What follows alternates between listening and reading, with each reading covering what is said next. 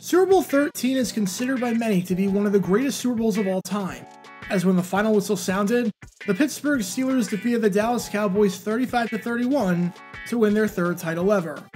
However, while roughly 70 million people in the United States watched the game on TV, none of them were located in the city of Lewiston, Idaho, where the power went out just minutes before the game. Due to inclement weather, including fog and a blizzard with 50 mile per hour winds, the main power supply to the NBC affiliate went out, along with the backup, and the backup to the backup. And to make matters even worse, you couldn't listen to the game on the radio, since all the stations covering the game in the area were daytime stations, meaning that they had to sign off at night, which is when this game was played. Talk about the worst Super Bowl party ever. To learn more about that, click the card above or the link in the comments.